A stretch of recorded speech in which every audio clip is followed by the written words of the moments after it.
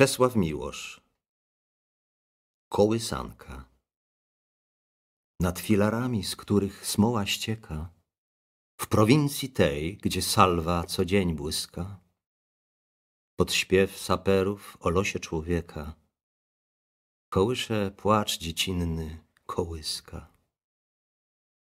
Kołysze lula nowego bohatera W zapachu ognia i spalonych zbóż.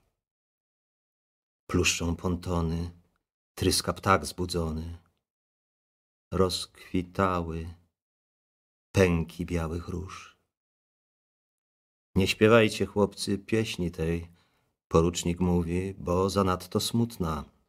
I tak już w wodzie mokniemy po pas.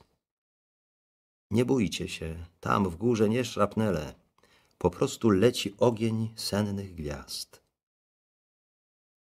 Mój mały, Szepczą dziecku w wiosce siwej od mgły armatniej. Mały, bajk chcesz? Więc była rzeka nazwana Stochodem. W rzece mieszkała taka ryba, leszcz. A leszcz był płaski, jak miesiąc wieczorem i pływał sobie.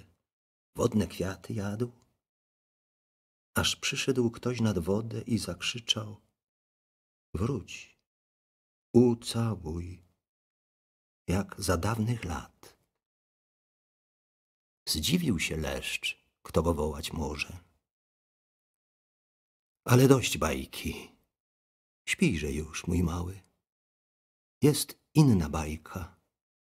Był raz sobie kraj, a w kraju żyta szerokie szumiały. Szumiały żyta, szumiały i szły. Krajem pociągi, pełne bochnów chleba. Nad pociągami srebrny grał skowronek. Dalej nie umiem.